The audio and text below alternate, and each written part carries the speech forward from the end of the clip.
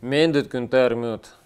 Уважаемые земляки, дорогие листинцы, все циклично, поэтому иногда полезно вспомнить историю. После войны, после возвращения калмыков из ссылки, республика была в тяжелейшем положении. Но это не смутило нашего лидера Басан Бадминовича Городовикова, который сумел всех сплотить, поставил сложные задачи. А в решении этих задач он опирался не только на земляков, но и активно привлекал лучших специалистов со всех концов Советского Союза. Людей, которые в итоге многое смогли сделать для Калмыкии. Например, Никитин, Зборовский, Ларгин. Эти люди не являлись уроженцами Калмыкии, но именно под их руководством строилась наша республика, строились дома, дороги, больницы, школы. Все то, без чего жизнь здесь была бы очень сложной. Те же электрические сети в нашем регионе создавались под руководством Прокуророва.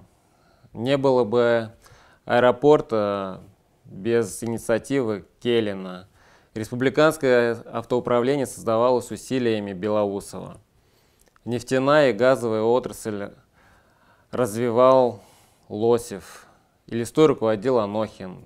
При нем поднимались все эти микрорайоны, в целом создавалась столица Калмыкии. И, конечно, это далеко не полный список. Как рассказывают нам наши старшие, были еще поезда, которые привозили на станцию Дивная строителей, механизаторов, инженеров, учителей, врачей, людей, которые сюда ехали работать, и ехали сюда работать на благо Калмыкии. И всем нам известно, что это был период в нашей республике, когда здесь появлялись предприятия, создавались новые рабочие места. А этих людей впоследствии называли городовиковским призывом. Сейчас их внуки и правнуки живут в нашей республике. К чему я это говорю? Все мы прекрасно знаем и понимаем, в каком состоянии сейчас находится наша любимая столица, наша листа. Когда я начал руководить республикой, особенно много жалоб поступало от предпринимателей города Листы. Ведь за каждую подпись чиновника выставлялся ценник. В первые же дни я столкнулся с тем, что нам приходилось бороться со срывами сроков строительства ключевых объектов, также нецелевым расходованием государственных средств. Коррупция криминал, на мой взгляд, стали главным препятствием на пути развития и листы, и республики. Кстати, листа, как вы знаете, развивается хаотично. Тот генеральный план, который есть, по большому счету, это фикция, его никто не придерживается. Вся инженерная инфраструктура жилищного хозяйства полностью изношена. Городской бюджет страдает от хронического дефицита средств. Счета многих городских организаций заблокированы, что усложняет их деятельность. И я убежден, что сложившаяся ситуация требует нестандартных решений. Несколько лет назад я познакомился с Дмитрием Трапезниковым. Мы вместе работали, вместе выполняли государственные задачи. Дмитрий на мой взгляд, имеет большой профессиональный опыт. Он занимал руководящие должности в сфере городского хозяйства.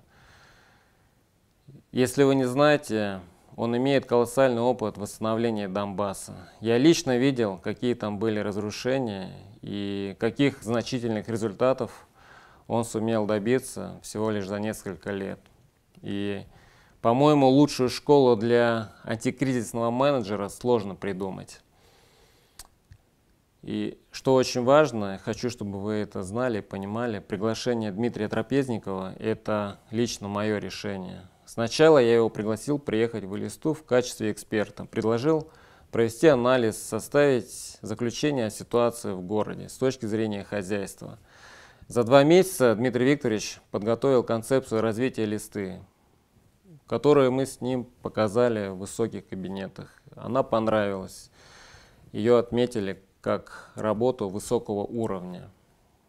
Кроме всего прочего, для меня было важно, чтобы руководитель города был не только профессионалом, но и не был подвержен влиянию ни кланов, ни криминала. И поэтому, в конце концов, я принял решение предложить, рекомендовать городскому совету Дмитрия Трапезникова на должность исполняющего обязанности руководителя администрации города Элисты. Сейчас Дмитрий Викторович готовит комплексный план развития, который вы скоро увидите. Нужно дать ему время. Осудить нужно по результату. Я уверен, что он себя проявит. И проявит именно на благо и листы на благо всех вас. Естественно, сейчас я не могу не сказать о ситуации с Советом Федерации. Уверен, что вы прекрасно знаете и понимаете, кого я там вижу. Я считаю, что Республику Калмыкия в Совете Федерации должен представлять человек с безукоризненной репутацией и человек, готовый работать с полной самоотдачей. Я за это борюсь. Друзья, я ответственно отношусь к своей работе и прошу вас также проявлять эту ответственность. Не выкрикивать лозунги, а вникнуть в ситуацию, быть объективными, быть справедливыми. Подумайте хорошо, кому выгодно вас провоцировать и чем они руководствуются. Я очень хочу, чтобы и в нашей столице, и в республике все было благополучно. И готов многое для этого сделать. Спасибо.